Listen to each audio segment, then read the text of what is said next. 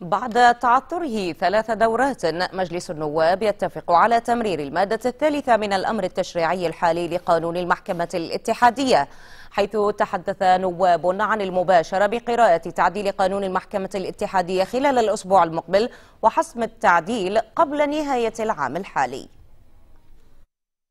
اتفاق سياسي لتمرير تعديل المادة الثالثة من الأمر التشريعي الحالي للمحكمة الاتحادية بعد تعثر التوافق على تشريع قانون المحكمة المعطل منذ ثلاث دورات نيابية.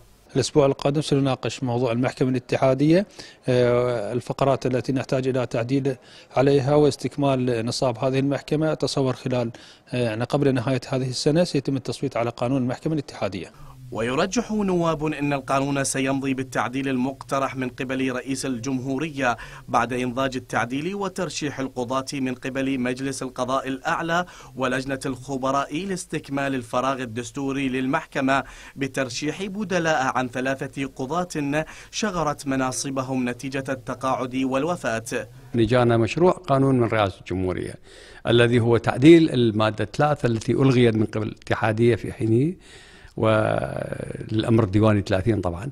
هذه سهلة قرأت قراءتين. لا نحتاج أكثر من ساعة زمان أو أقل من ساعة زمان. جلسة برلمانية كاملة النصاب لأنه هو تعديل. ما يحتاج أكثرية الثلثين.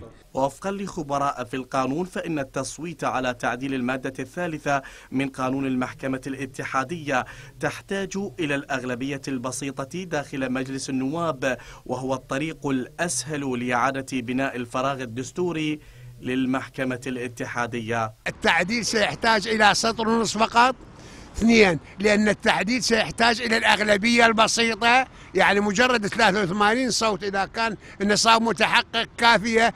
ثلاثة لأن التعديل يجنبنا مسائل الدخول منهم خبراء ومنهم فقهاء ومنهم قضاة. ومع تعثر التوافق السياسي على تشريع قانون المحكمة الاتحادية لثلاث دورات نيابية متتالية ترجح كتل سياسية تمرير تعديل المادة الثالثة من الأمر 30 النافذ حاليا لاستكمال التهيئة القانونية واللوجستية للانتخابات المرتقبة. سجاد الموسوي العراقية الإخبارية بغداد.